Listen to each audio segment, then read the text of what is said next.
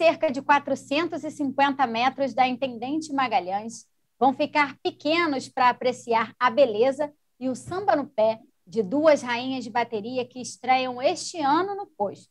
Lívia Menezes, pela Acadêmicos de Jacarepaguá, na série Bronze, e Dandara Bispo, da Unidos da Vila Santa Teresa, na série Prata.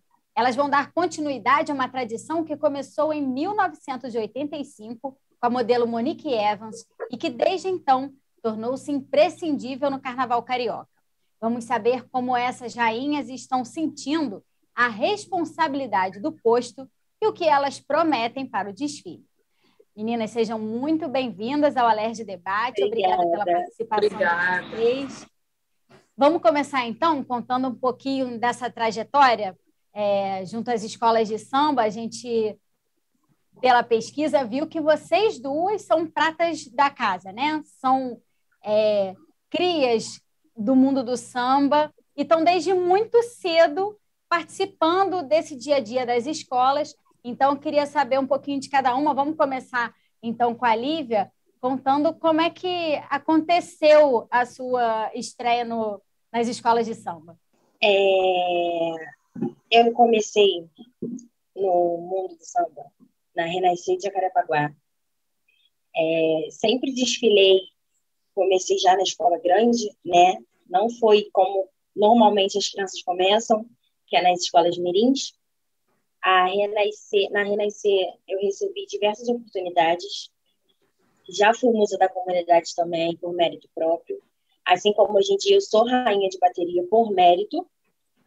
É, passei por diversas escolas. Hoje em dia sou passista do Salgueiro, da Império da Tijuca. Permaneço na Renascer e estou podendo realizar meu sonho de vir como rainha de bateria na Acadêmica de Jacarepaguá. E você começou com quantos anos? Com seis anos de idade. Você falou que não começou com ala mirim, mas era né? Muito pequenininha ainda. Sim, sim, exatamente. E isso te influência, Lívia, da sua família para você começar tão cedo? Sim, da minha mãe. A minha mãe sempre gostou e eu sempre acompanhei ela nos ensaios. A minha mãe é ritmista. E carnaval sempre esteve envolvido na minha família. Então eu já cresci, eu não tive nem escolha, nem para onde fugir, na verdade. Então, foi um amor que a cada ano, enquanto eu fui crescendo, eu fui gostando, eu queria participar, eu queria estar ali. É, eu tive a oportunidade, então, depois que eu passei pela primeira vez na Marca de Sapucaí, eu não senti mais vontade de não desfilar. Eu queria todo ano estar ali. O coração bate mais forte, né? Dandara, Sim. e você? Como é que começou a sua história? Olha, eu comecei no tradicional, né? Eu comecei com cinco anos, desfilando pelo Aprendizes do Salgueiro, mas criança mesmo, para divertir e tal, desfilava com toda a minha família, várias crianças da minha família. E aí eu fui crescendo, resolvi, na, na fase da adolescência, por uns 15 anos, 16, resolvi não desfilar mais, só que eu viajava e ficava chorando na frente da televisão porque estava vendo o desfile acontecer e eu não estava lá. Aí eu voltei, fui para Vila Isabel. Lá eu fiquei quatro anos. Já entrei como passista.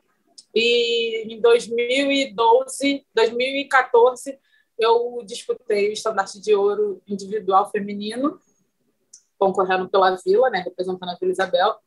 E no mesmo ano eu saí porque eu disputei Concorreu grávida. como melhor passista, o estandarte de ouro. Isso, isso, melhor passista feminino. Mas eu, no mesmo ano eu desfilei e saí da escola porque eu estava grávida, já desfilei grávida, na verdade. Aí me afastei e agora voltei em 2000 e... Opa, 2019.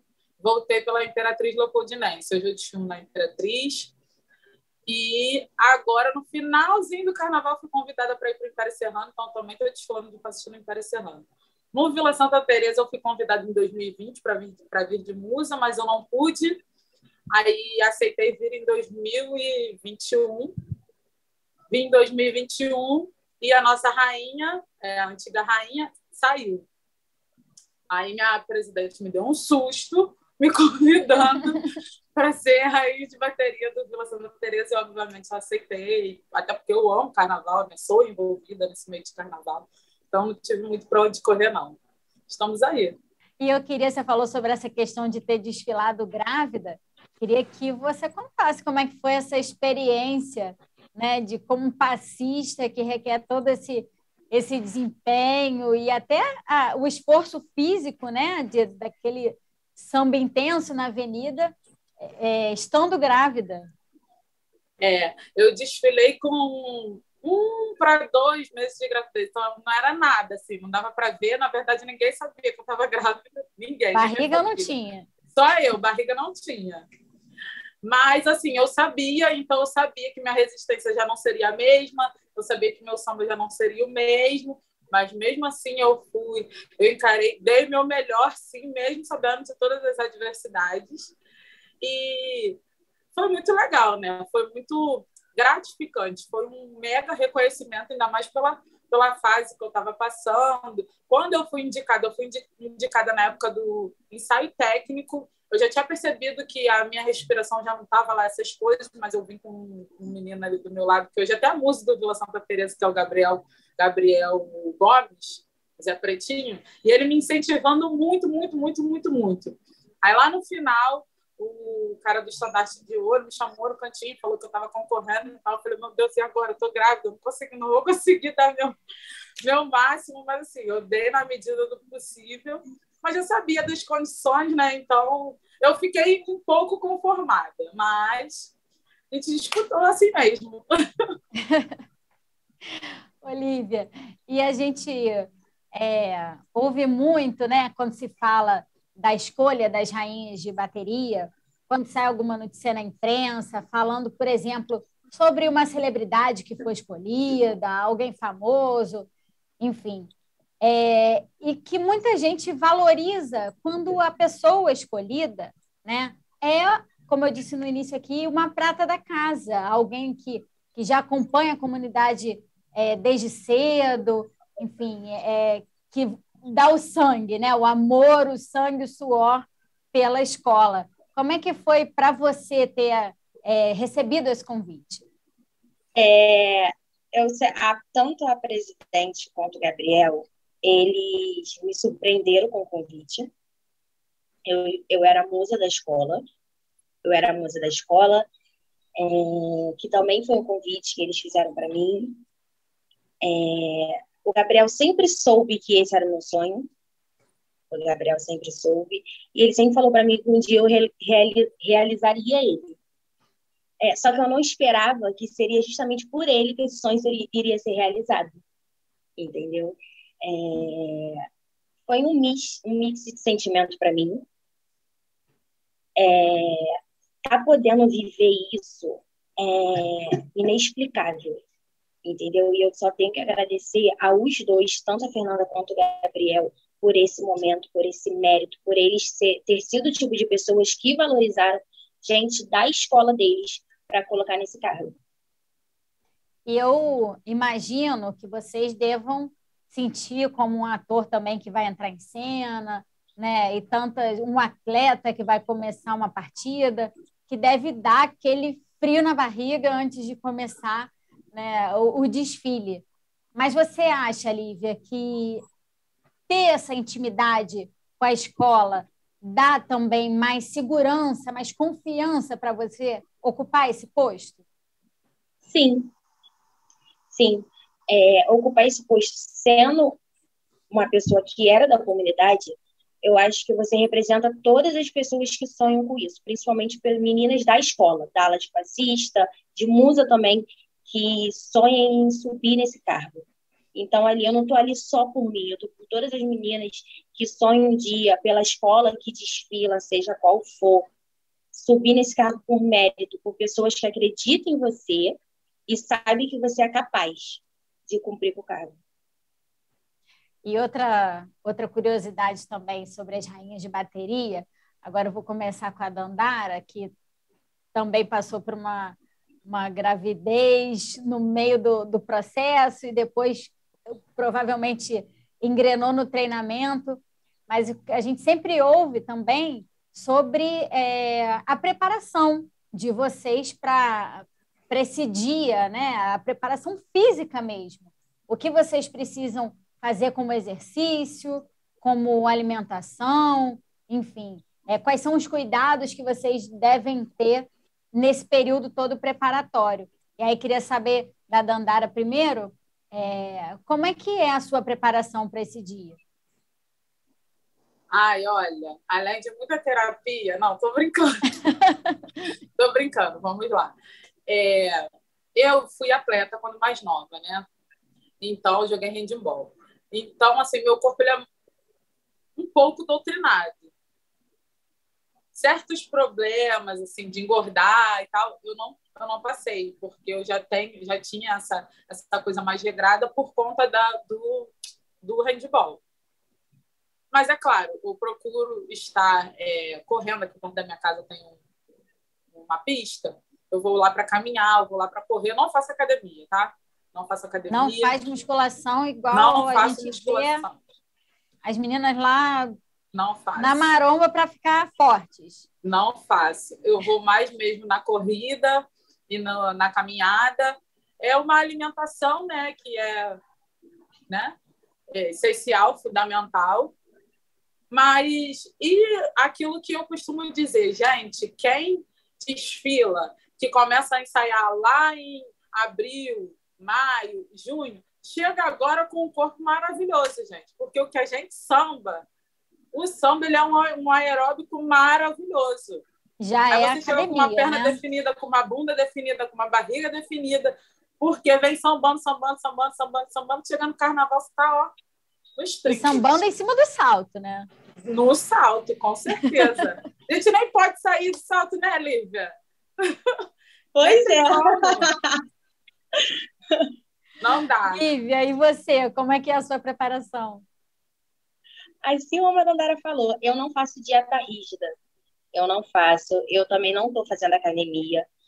É, eu estou tendo umas semanas de ensaio muito intenso. É, por conta de desfilar em várias escolas. Então, automaticamente, eu perco peso conforme se eu estivesse na academia. Entendeu? É, às vezes eu saio para correr de manhã, mas nada que seja muito rígido. Nada que, que é muita musculação, é dieta assim, super regrada, não. Eu só como coisas saudáveis. De vez em quando uma besteirinha, isso é óbvio. Mas chega nos ensaios, mata tudo. Compensa, né? Queima muita caloria. E Sim. no dia do desfile?